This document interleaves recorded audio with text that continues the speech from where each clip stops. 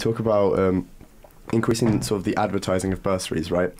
Uh, so, what what do you think is wrong with, with the advertising now? Are, are there a lot of bursaries that a lot of students don't know about?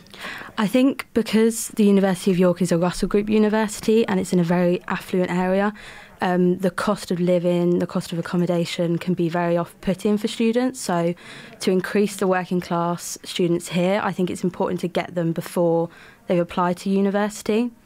Um, and I know there are a lot of bursaries available, but from my own experiences, people that I've met since being at university, they don't always know about it. They say that, oh, I got emailed and it was a surprise, I didn't know.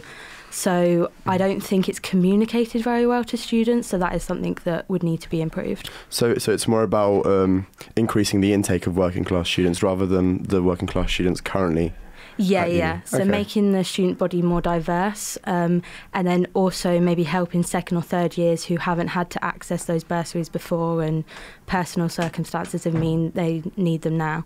Yeah, of course. Yeah. Um, so how uh, you also mentioned sort of like having regular events.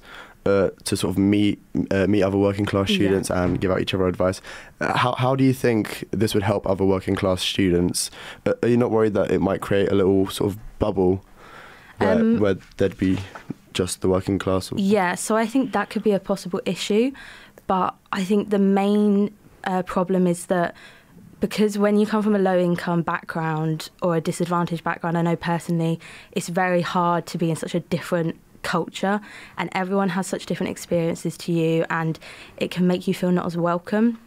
So I think it's more important to support the well-being of the students and to make sure that their university life experience is just as good as everyone else and not just the studies aspect of it. Yeah, of course, uh, I definitely agree because I'm similarly working class as well.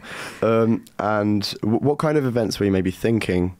W- would it just be sort of uh, bar meetups, or would it be Something so a range of things, whether that be nights out, like social nights out, um, things in the day for you know non-alcohol activities, um, or even activities that maybe have a financial barrier to them that students wouldn't be able to do on their own because they can't afford it.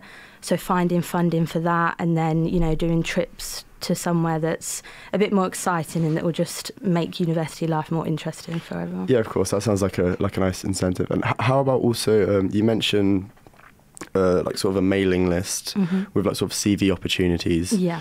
Um, do you know of any sort of CV opportunities that currently a lot of students don't know about, or is this just a working idea?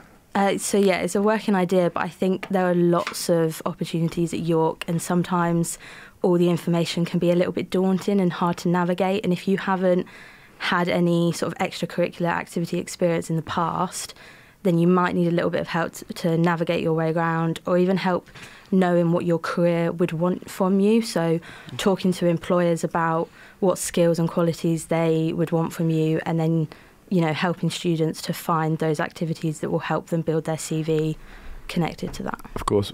Uh, uh, would you, would you want that those kind of mailing lists to be sent out to sort of all students about to, to make it available for, for everyone? Or? I think it would be to all students that want to mm. access it. Thank you very much, Arek, and thanks, Laura. We now go over to Studio Blue. Accountability and Scrutiny Chair. The Accountability and Scrutiny